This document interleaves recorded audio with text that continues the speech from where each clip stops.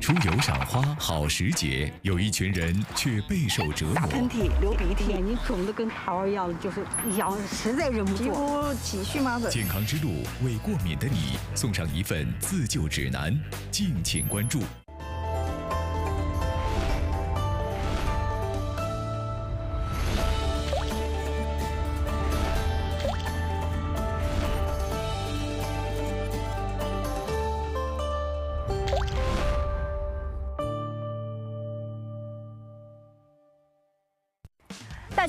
迎您收看《健康之路》节目。本栏目由吉林敖东安神补脑液独家冠名播出。敖东牌安神补脑液，安神又补脑，睡好精神好。春和景明，百花盛绽，此时呢正是游春赏花的好时节。当我们徜徉于花海当中，阵阵的花香扑面而来，真的是让人非常的陶醉。可是对于爱过敏的朋友们来说，这漫天飞舞的花粉以及毛絮。真的像一场噩梦一样，游春就仿佛是在渡劫。反正每到这个季节吧，非常难受，呃，喷嚏没完没了的，连着能一次打好几个。就是我们家到处都是那个纸巾包，早上起来的时候能扔满地，就这样。就是每到这个季节就过敏，但是这个花嘛，一年就开一次，也是禁不住它的诱惑，就来看一下，欣赏欣赏。你什么感觉啊？觉得鼻子里生了一个毛，痒痒。春天这些柳絮啊，还有花粉啊，这些就是也比较多的时候，也是他这个鼻炎比较容易犯的一个时候。打喷嚏、流鼻涕、鼻子堵，确实有时候挺影响孩子的，因为导致他睡不好。睡觉的时候，如果我这边的鼻子堵了的话，我就会往这边翻；如果我这边的鼻子堵的话，我就会往这边翻，就让它通气儿。然后呢，就会这样一直翻。那如何顺利的度过这场花节，尽情的享受春天呢？今天呢，我们请到了一位专门对付过敏的专家，让我们欢迎来自于北京大学第一医院耳鼻咽喉头颈外科的隋海金副主任医师。你好，隋医生，主持人好，大家好。嗯，今天我们邀请隋医生呢，跟我们共同来游园赏花。当我们步入到大自然当中的时候呢，真的是目不暇接哈，各种各样美艳的花朵，让我们赏心悦目。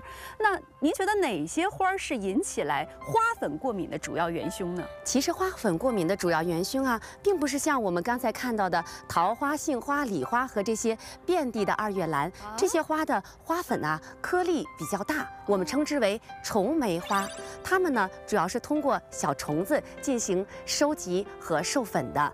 那么真正让我们过敏的元凶呢，主要是我们在自然界中一些非常朴素的树木和草的花粉，比如说大家可以看到的松树、柏树。那么这些树木的花粉呢，是量是非常大的，它们呢是经风传播。那么每到过敏季的时候，大量的树木的花粉在空气中播散，就会引起我们过敏性鼻炎的发作。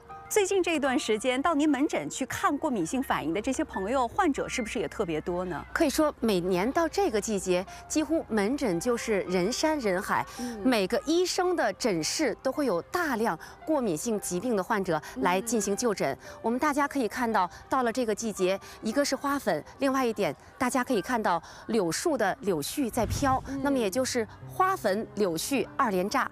所以，当我们看到这个漫天飞舞的雪花，是打着引号的雪花飘飞的时候呢，真的感觉我们的面部，包括暴露在外面的一些皮肤，都会有那种痒痒刺刺的感觉。这其实也算是过敏，对吗？您说的太对了。其实我们把这些人群就称之为不愿意过春天的人群。您看，我们的春天是春暖花开，那他们的春天几乎是在受花粉的攻击。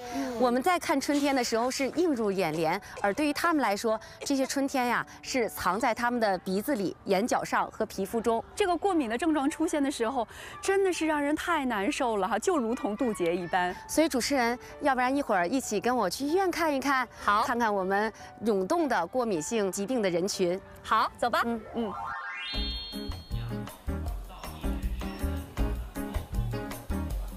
我们现在来到了耳鼻咽喉头颈外科的门诊。我们看到现在呢，就诊的人还真的不少。我们随机采访两位患者。您好，您今天是因为什么来就诊呢？啊，就是一到春天以后，这个鼻子也不知道怎么了，一会儿流清鼻涕，一会儿吧打喷嚏，然后呢，有时候鼻堵，晚上睡不着觉，呃，反反复复的时好时坏。今天这不是有时间吗？想过来看看大夫，看看到底怎么了，到底是过敏性鼻炎了还是感冒了？我看着不像感冒，但是吧。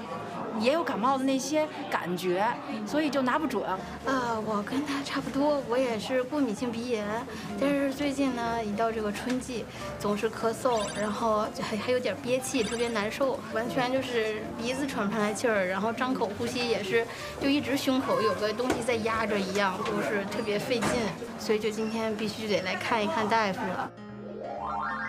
所以医，生看来有很多过敏性鼻炎的问题需要向您请教了哈。刚才呢，我在跟患者聊天的过程当中呢，发现他们对于鼻炎和感冒分不太清楚，这两者之间应该怎么区分呢？确实是因为感冒和鼻炎啊这两个疾病呢，它在有些症状上是叠加的。但是呢，我们可以从两点上将感冒和过敏性鼻炎进行区分。比如说感冒，除了本身鼻部不舒服以外，很快我们可能就出现咽痛啊、咳嗽啊，并且呢，我们容易有全身的症状，比如说四肢肌肉的酸痛啊、乏力呀、食欲的不振啊，甚至有的患者呢还会伴有低热。但是过敏性鼻炎的患者呢，主要集中还是鼻部本身的症状。第二点就是这两个疾病啊，它的病程是不一样的。对于感冒呢，它本身是有自限性的，一般一到两周就可以自愈了。而过敏性鼻炎呢，如果在我们不加干预的情况下，整体的病程要持续四周以上。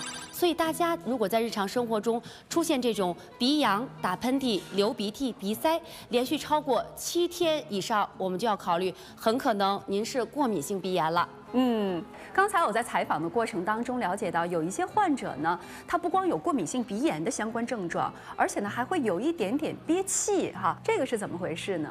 这个呢，我们就要从过敏性鼻炎的发病机理呢，去给大家讲讲我们的气道为什么会过敏。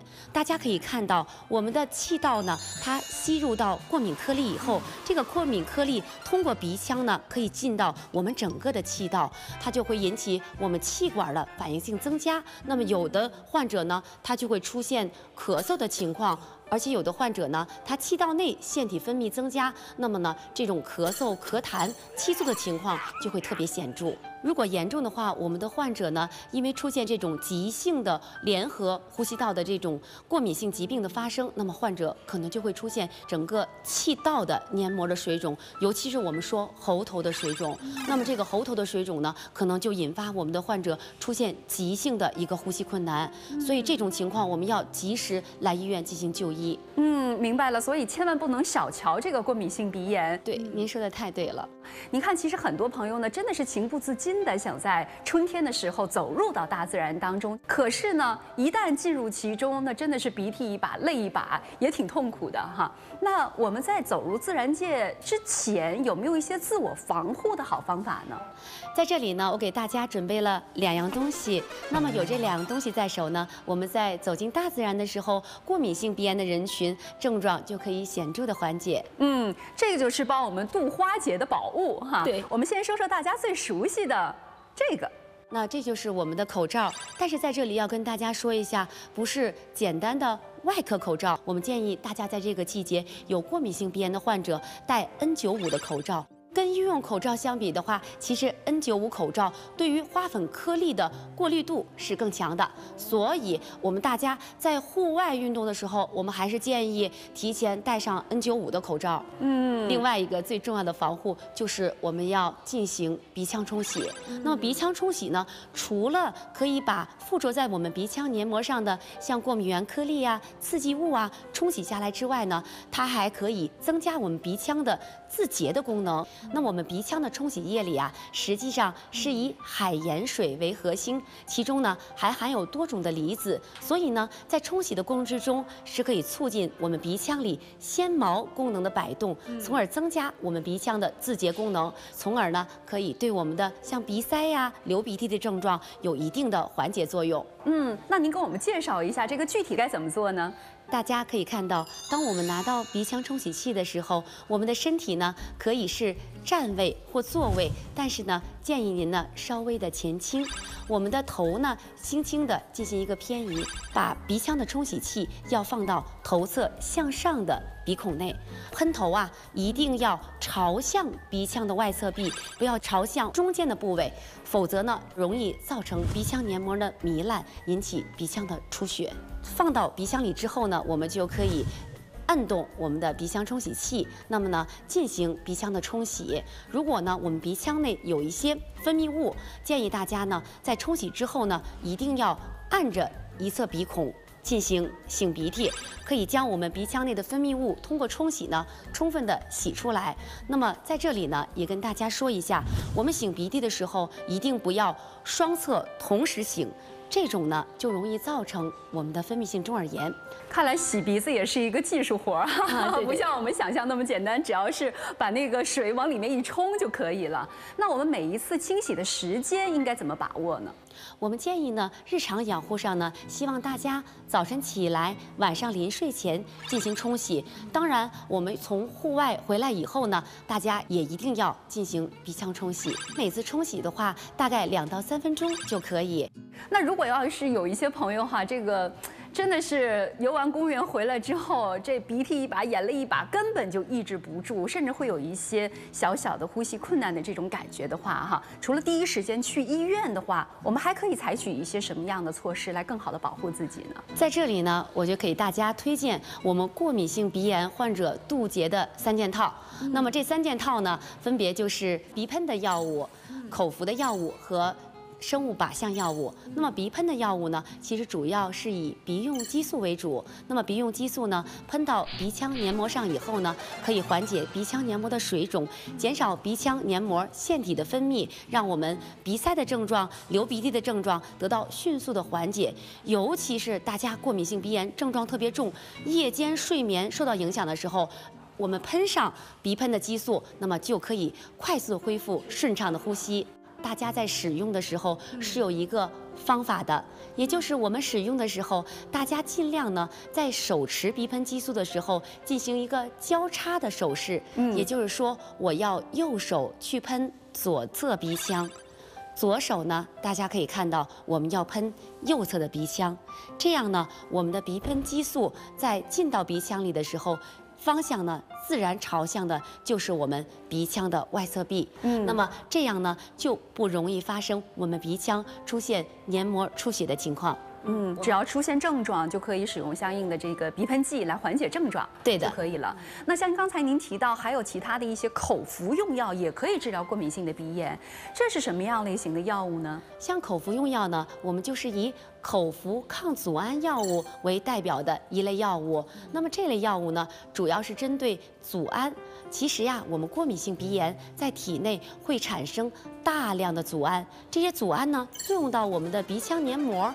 引起呢，我们鼻腔黏膜像鼻痒啊、打喷嚏啊、流鼻涕这一系列的症状，尤其是大家鼻痒。眼痒的时候，那么口服上抗组胺药物以后，那我们的这个痒意就可以迅速的控制住。那是不是当我们症状出现之后才去吃这种药物呢？并不是这样子的。比如说像抗组胺药物为代表的氯雷他定盐酸西地利嗪，实际上呢，我们在过敏性鼻炎发生前就可以使用。那么这样的使用呢，我们就叫预防性治疗。另外一点呢，我们对于季节性过敏性鼻炎的病人，如果呢您每年发病的时间是有固定时段的，我们建议啊，口服的抗组胺药物以及鼻喷的激素都可以关口前移，也就是在您每年症状发作的前两周去使用这样的药物，会使我们整个过敏季的症状得到一个有效的控制。嗯，那针对过敏性鼻炎，有没有一些最新的高科技的治疗的方法呢？确实有这样的药物，也是我们过敏性鼻炎治疗的明星药物——生物靶向药物。这个生物靶向药物呢，针对的就是我们过敏的蛋白。您看，我们之所以产生过敏的症状，就是因为啊，我们的身体接触到过敏源以后，就在体内产生一种特殊的过敏蛋白。这个过敏蛋白作用于我们的鼻子，我们就会过敏性鼻炎；作用于我们的气管，我们就会过敏性哮喘；作用于我们的皮肤，我们的皮肤也会产生过敏。所以说呢，如果过去的传统治疗呢，鼻子治鼻子。呼吸、治气管、皮肤科治皮肤。那么现在呢，通过单一的生物靶向药物，就会使我们这些过敏性鼻炎、过敏性哮喘以及皮肤过敏的患者，通过单一治疗得到多重的受益。嗯。那通过您的介绍，我们感觉对于过敏性鼻炎的一些问题呢，真的是清晰了很多。谢谢您的介绍和分享，谢谢主持人。益安宁丸提示您收看《健康之路》节目。当我们在游园赏花的过程当中啊，发现很多朋友不光会鼻子痒、流鼻涕、打喷嚏，而且呢还会有眼睛的过敏症状。他就喜欢老眨眼睛，眼睛痒。哎，也是觉得比较头疼。眼睛他就是，它是它是掉流流流眼泪，有时候。眼睛痒，有时候我揉的都那个水肿，我不知道你们见过没？那个眼睛肿的跟桃儿一样的，就是痒，实在忍不住。大家真是被春光迷了眼啊！想要摆脱一把鼻涕一把泪的窘态，还得请眼科专家来支支招。今天我们请到的是北京大学第一医院眼科的吴远主任医师，欢迎您，吴医生。嗯，吴医生，我们在逛公园的时候啊，很多朋友提到最难受的感觉就是。眼睛奇痒无比，而且还会流眼泪，甚至呢，有的朋友眼睛肿得就像哭过了一样，这些都算是过敏的反应吗？呃，对，您描述的这些症状就是我们临床说的过敏性结膜炎啊，它全称应该是季节性过敏性结膜炎。呃，发生在什么时候呢？就是我们现在这个春暖花开的时候，啊，公园里或者是大街上的花粉浓度很高的时候，啊，他们是这些患者呢个人体质对这些花粉呢有一种过敏的表现。嗯，那么在我们的眼球表面。的白眼球上啊，有一层结膜。这个结膜呢，它里面有一些细胞呢，是对咱们外界的致敏源是非常敏感的啊。这些细胞叫做肥大细胞。花粉对黏膜上的肥大细胞起了一种应激反应。肥大细胞呢，会分泌一些组胺这样的一些分子。这就好比说，呃，是火山一样啊。平时是死火山，我们可以在上面玩耍。但如果它因为外界因素导致这个火山喷发之后，就形成了一个活火山，会喷出这些熔岩浆啊，这就就是有害的了。那么肥大细胞就类似于这个火山，它会从死火山变成活火山，这个过程呢就是一个过敏的过程。而它喷出的这样的一个就这个岩浆呢，就好比是组胺分子。组胺分子呢有两个作用，一个呢是在咱们白眼球上啊。引起一种眼痒的感觉，嗯啊，另外呢，它会引起这个血管的扩张啊，引起这种充血变红的感觉。那如果时间长的话呢，这些过敏反应还可以引起眼部的炎症反应，引起一个眼睛的高度的红肿、充血、睁不开眼睛，和桃一样的感觉。所以呢，实在没办法的情况下，我们怎么办呢？我们看到很多有这个眼部过敏的朋友哈，就真的是什么都顾不上了，只能用手去不停的揉眼睛。我们并不主张说患者呢，就是说痒了之后呢，就使劲揉眼睛啊。但是这种感觉可能真的是很难受啊。有的患者会表述说，我恨不得把眼珠子抠出来的感觉，对吧？啊，所以患者一般会下意识的去揉眼睛。呃，如果说特别轻度的和频率很低的啊，揉两下，我认为关系不是很大。但是如果以这样揉眼睛的方式来解决过敏的话，那是一个不可取的行为，啊，因为首先呢，这个使劲揉眼睛它不能解决眼睛痒的问题。其次呢，这种大量的揉眼睛的话，会引起我们眼睛前面的这样的啊黑眼球啊、白眼球的组织的损伤。啊，更严重的话，如果是一个比如说青少年啊小孩儿，他的眼球还在发育的过程中啊，反复大量的啊揉眼睛，会引起我们前面啊黑眼球表面的组织的一些变形啊，进而引起光呢到眼内之后呢就不就不能形成一个完美的焦点嘛，形成一项散光和屈光不正的现象，这是我们需要避免的。所以，我看到这个公园当中呢，有很多人为了减轻眼部的过敏症状呢，也是做了一些防护措施的。我们去看看他们究竟是怎么做的。好，每年到这季节都这样。他防护线主要是呢，就一个是戴口罩、戴镜子，偶尔滴眼药水，能避免还是尽量避免。就是在开春花特别好的时候，忍不住来拍一拍。其他的就是杨柳絮飘的时候，尽量少出去。所以，当我们出现有这种过敏性反应的时候，提前应该做一些什么样的功课，能够更好的保护自己，减轻过敏症状的出现呢？对我带来两个呃小工具啊，帮助大家去减少这个过敏反应的这样的一个强度啊。第一个就是这样的一个防风镜啊，防风镜。防风镜的作用呢，就是把我们的眼睛呢和我们的外界自然界，比如说空气中的花粉啊，进行一个隔绝，是一个纯粹的物理隔绝啊。它的要点是这个镜子呢周边呢有一层硅胶啊，能够贴在皮肤上，而且贴合的很好。戴上之后。后啊，大家看一下，可以把我们的眼睛呢和这个呃空气呢进行一个阻隔啊。这样的话，我们在出门的时候呢，尽管是空气中有很多的这样的一个过敏源，但是它和眼睛呢就被这样一个物理隔绝了啊。这是第一个方法。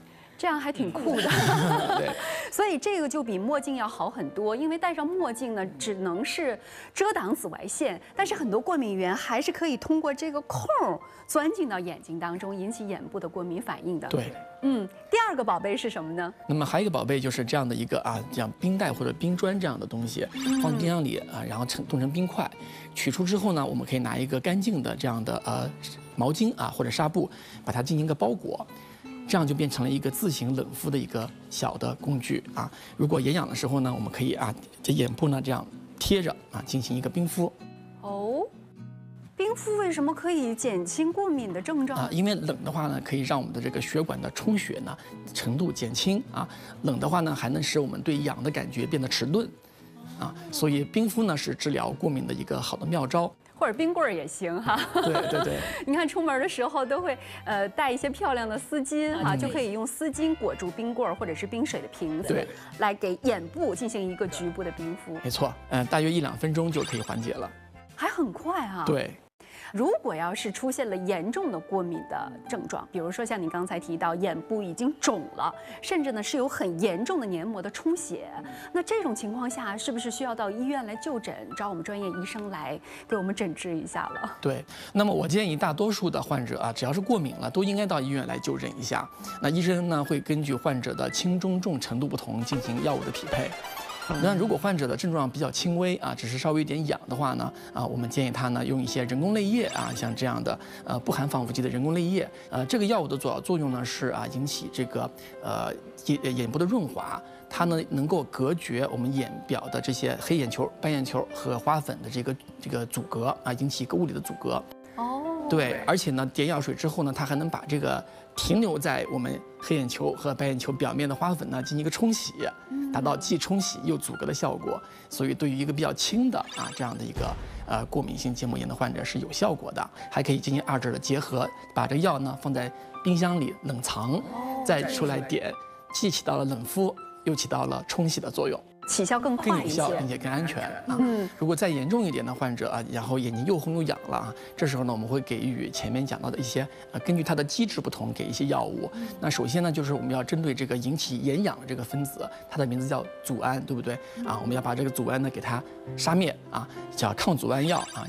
类似这样的药物，可以有效的呢阻隔这个阻胺和我们眼睛表面的这个化学反应啊。啊，当然我们想啊，如果说我们这个呃引起过敏的细胞已经分泌这样的有害的分子的时候，我们光对抗这个分子是有用的吗？是，但是不彻底，对不对？我们还需要把这个细胞给它进行一个阻断。那么这个细胞呢叫肥大细胞，我们是要用肥大细胞的稳定剂，所以这样的药水就可以让这个。肥大细胞，也就是引起我们眼痒的根本的原因的这个细胞，处于一个稳定状态，不再分泌这样的一个分子。所以，对于一个中度的患者的话呢，他需要既用这样的一个呃抗组胺药物，也需要使用肥大细胞稳定剂，或者说市面上已经出现了啊抗组胺和肥大细胞二合一效果的制剂。嗯，但如果要是。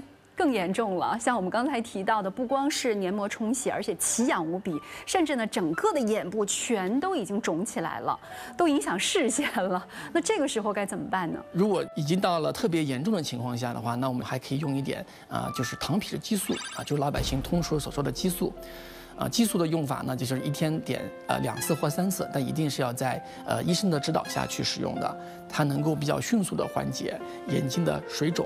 充血和这样的眼睑的肿大，我觉得对于这些眼部过敏的朋友们来说，出趟门儿这包里揣的东西还不少哈。那如果说往年就有过敏史了，那我们今年能不能有一些预防的办法，能够让我们的过敏症状出现的晚一点、轻一点，甚至是不出现？有这种可能吗？啊，有可能。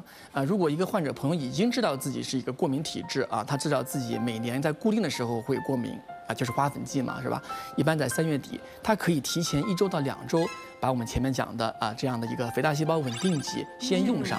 如果我们提前让它进入一个休止状态，就跟火山似的啊，提前进入一个休止状态，它不再喷发，那么它这个春天可能都舒服了。理解了。嗯，非常感谢吴医生今天给我们的介绍。您现在收看的是《健康之路》节目，本栏目由吉林敖东安神补脑液独家冠名播出。敖东牌安神补脑液，安神又补脑，睡好精神好。其实我们今天游园的气候呢，真的是非常的舒适哈。现在户外的温度呢，差不多有二十五摄氏度左右，按说呢是可以穿短袖和短裙了。但是我发现啊，游园的过程当中，很多游人呢却把自己包裹得非常的严实。细一打听啊，才知道有很多朋友不光会有鼻子、眼睛的过敏症状，同时呢，皮肤上也会有非常不适的过敏反应。我们去问一问他们到底有什么样的感受吧。春天的时候，衣服必须得穿的多一点，要不粘到身上的过敏，皮肤起荨麻疹，红，特别痒。一开春就开始，我就就这样了。哎呀，紫外线过敏那就是二十多年前吧就开始了，紫外线过敏，什么胳膊上的哪儿脖脖子上的，全是起小疙瘩、小小疹子。我们看旁边啊，有一群小朋友们正在春游，看看小孩会不会也出现过敏的症状呢？走。我看别的小朋友都没戴口罩，你今天为什么还戴了一个小口罩呀？嗯，因为我前几天过敏了，嗯，身上很痒，所以我爷爷和奶奶带我去医院看了一下。哦，大夫怎么说的呀？你还记得吗？嗯，他说我对花粉过敏，所以奶奶就让我出来戴口罩。那你今天来春游的时候还有痒痒的感觉吗？嗯，除了头，其他地方都很痒，就跟蚊子叮了一样。老师，您觉得现在班级里边过敏的小朋友们多吗？比往常多一些，就是春天的时候花粉比较多，就会对孩子造成过敏的现象。嗯，因为孩子的皮肤比较细嫩，所以说他们挠完之后就会起一片的红疹。某些小朋友以前没有这种情况，但是今年就会发生身上起红疹，不知道是不是自身的免疫力有所下降。面对春季突发的皮肤问题，我们又该如何自救呢？听听皮肤科专家怎么说吧。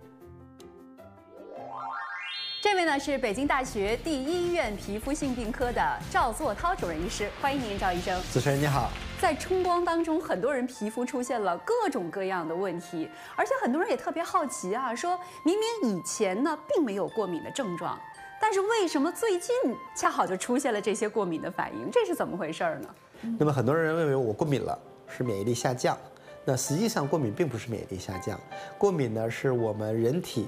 那长期进化的过程当中，形成了一个神经免疫学系统。嗯，我们要识别外来的危险，细菌啊、病毒啊，我们要去杀灭它。嗯，但是过敏的人群呢，它是过度的活化了免疫。什么意思啊？呃，比如说像尘螨，它对身体没有太大危害，但是如果我们过敏的体质识别了它，会过度的产生免疫学反应，就好像是杀敌一百，自伤一千。那这种免疫反而伤害了我们自己。所以过敏的本质是免疫力的紊乱，甚至我们可以理解为是免疫力亢进。所以提高免疫力反而会加重过敏。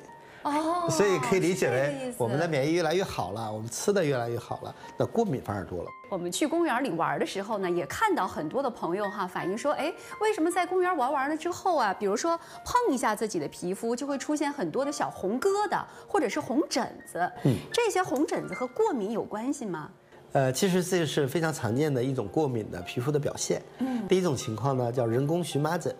呃，什么叫人工荨麻疹呢？也叫压力性荨麻疹。嗯，就是在皮肤上，呃，比如说哪儿痒了，你这么一划，就会鼓起来一条一条那个长的隆起的风团，一片一片的，特别的痒。是的，一片一片抓着一条一条的。那么第二种情况呢，可能是湿疹的表现，特别是儿童湿疹。春暖花开了，带孩子出去玩，比如花粉很多的地儿，嗯，或者紫外线很强的地方。或者玩了脏沙子、脏水，那就会起很多小红点儿。嗯，那么这种也叫湿疹。那在我们现在叫做特异性皮炎，也是一种皮肤过敏的表现。第三个呢，是我们的面部的敏感皮肤，比如说像很多的女孩脸容易过敏，那她的脸皮肤屏障被破坏了，我们叫敏感皮肤。当外界的紫外线很强，当花粉的浓度很高，比如说像飘毛毛的时候，这些东西落在你脸上，嗯，那么很多的过敏一下都落在你脸上，当然你就受不了了。那可能平时你在室内还可以忍受，但是如果来到了户外，突然大量的花粉、大量的过敏源，那你就招架不住了。没错就好像有一个敌人来打你没事儿，但来了一百个，来了一万个，你就受不了了。但其实还是因为过敏源太多了，浓度过高，就有可能会引起严重的过敏反应。是的，嗯，那最后一种情况呢，就是刚才提到的，因为小朋友他的皮肤很嫩，非常容易被蚊虫叮咬，我们叫虫咬皮炎，也叫丘疹性荨麻疹。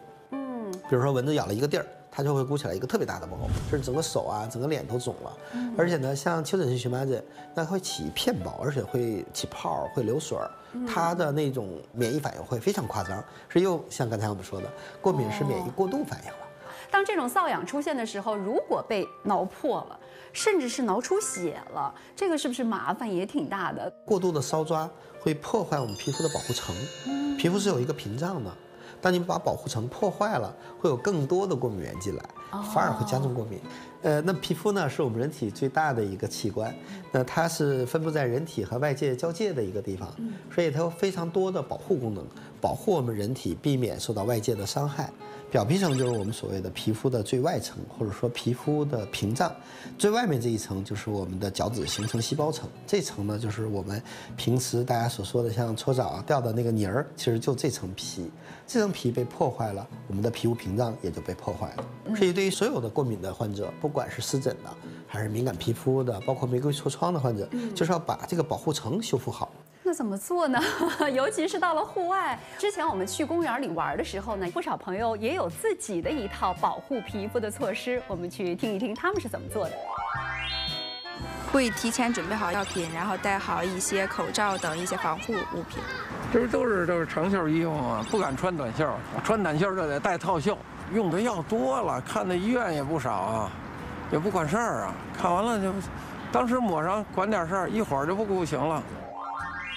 张医生，刚才呢，我们在这个短片当中也看到啊，大家为了减轻皮肤过敏症状呢，最主要做的措施就是物理防护。对那对于皮肤科的医生来说，你有什么好的建议吗？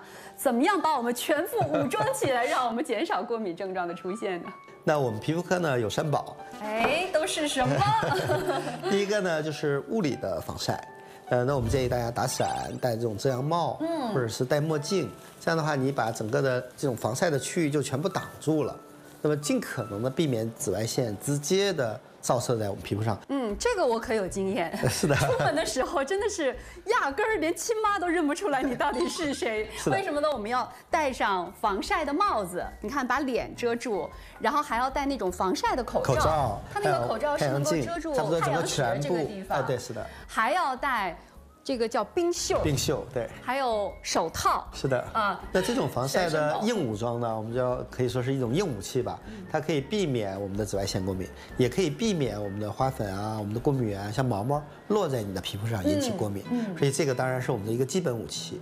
那第二个呢，就是防晒霜。哎，那我们可以直接涂抹在我们外露的部位，比如说我们的面部啊、颈部啊，像刚才说的手部啊，或者外露的部位。那一方面是可以防晒，那防晒一定要注意，我们一定是在，呃，出门之前二十分钟到三十分钟去涂抹。嗯那么涂抹晚了是没有意义的，或者如果遇到水了，一般我们建议再次涂抹。嗯差不多在两三个小时重新涂抹一次，这样才是一个真正有意义的防晒。那么除了这个硬的武装和软的武装之外呢，还有对于湿疹的患者，我们建议那么全身的去涂抹润体乳，在皮肤科临床会建议用一些大罐的，当然这是小罐的，大罐润体乳，我们不是这么抹一点儿。而应该是用手咬这么大的量才是合适的量，这是全身的用这是全身抹量，对，全身抹。全身都需要做保湿，全身都需要抹来预防这个是的因为过敏所产生的症状。对于过敏呢，我们可以很容易的判断，所有的湿疹的患者，一个是看小腿的前方，就把裤腿拉起来，如果前方像鱼鳞一样的这种这种改变，或者摸上背部，摸起来麻麻拉拉的，像小米粒儿一样的改变，嗯甚至皮肤是干的。那么这种情况下，就要全身的抹大量的油，当然脸上也要抹油，嗯这样的话将人体和外界有隔开。明白那么这样的话，你的身体就不容易被外界的过敏源啊、花粉啊所侵入进来，它形成一个隔离。在我们涂抹这些润体乳的时候，当然我们涂抹的是最外层，嗯但实际上它是有些渗透作用的，所以在整个的表皮它都是有这样的一个滋润的作用。这是整个的表皮层，那下面这个是真皮层，真皮层它是达不到的。嗯嗯，其实像我们在生活当中啊，也多少有一些治疗过敏性反应的小经验，也不知道对不对哈，和您分享一下。您看比较常见的方法呢，就是一旦有了这个大片的红疹子之后啊，会涂抹一些药膏。那个药膏当中呢，多少会带有一点点的激素，它也有止痒的作用，也有消除红疹子的作用啊。那一旦要是过敏的症状出现了，用这个方式合适吗？呃，其实这个还是应该在医生的指导下去使用。嗯。那么我们常常临床会有两种情况，一种呢是过度害怕激素了，就是我们叫激素恐怖症。就谈激素色变，我很多的患者一进来坐下，医生我不用激素啊，别的我们都可以谈。那实际不是这样的，其实激素反而是一个比较安全的药物。呃，比如说像孕妇，比如说像一些特殊人群，像肿瘤的患者，其实反而你可能只能用激素来治疗，没有其他的药物。所以激素的安全性其实是非常非常好的。嗯但反过来讲，你不能盲目的用。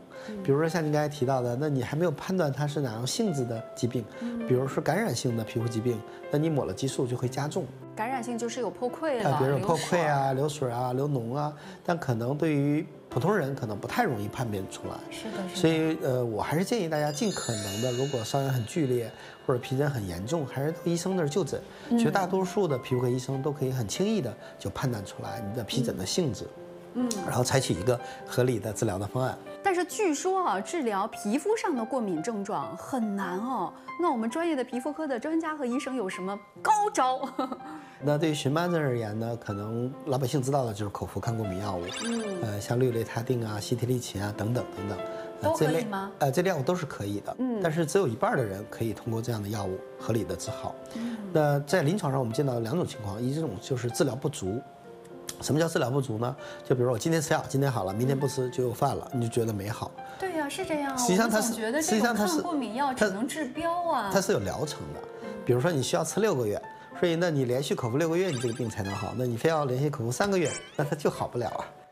我们以为就是抗过敏药只是一个应急的药，比如说为了预防哈这个发生，我们吃上，或者是已经发生了我们吃上，可能短暂的能够起到一定的治疗的作用。其实并非如此，并非它可能是一个需要长时间治疗才能够看到很好的效果。对，像我们可能是全球最大的荨麻疹中心，那大概平均慢性荨麻疹患者要吃口服十八个月的药物才能够治好。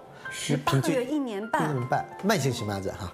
呃对于那些控制不好的，那我们另外一个治疗不足，就是你单纯用了抗组药还不行的患者，可以使用新一代的，比如说像生物制剂、像小分子药物，这些药物的疗效会更好。这是发挥什么作用呢？它是通过靶向你的发病机制的核心，就像我们在打仗里面使用导弹一样，它把你的病根儿给去掉了，定向的，它只针对它，不针对别的。那么这样的话，当然大概百分之九十的人。就可以得到很好的治疗哦。那么还有百分之十的人可能需要联合其他的药物。所以呢，因为嗯，我们只是想说有这么样的一些新的药物吧。这些药物上市大概也有二十年了，但是可能在中国因为上市比较晚，所以很多人还不知道。那实际上像荨麻疹，我们认为已经是被攻克的疾病，包括像银屑病，像很多其他的疾病。嗯嗯，都是因为有新一代的药物。那针对湿疹这一块，我们有什么很好的治疗的办法呢？湿疹的患者可以常备一些常用的湿疹类的药膏。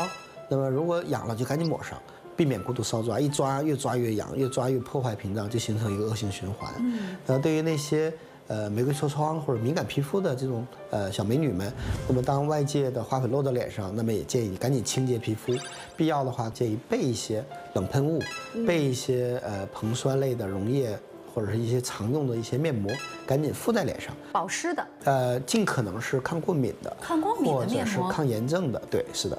那就是医用的面膜，而不是普通的我们日常的保湿和美白的面膜。啊，对，是的。那这种情况下呢，赶紧给皮肤降温，嗯，避免进一步恶化，出现那种比较严重的后果。嗯，看来真的是要不断的更新自己的医学的认知哈。是的。好，谢谢赵医生今天的介绍和分享。嗯，那今天呢，通过三位医生的介绍呢，已经给大家提供了一个全方位的保护，真的希望大家呢能够尽情的享春光。感谢您的收看，再见。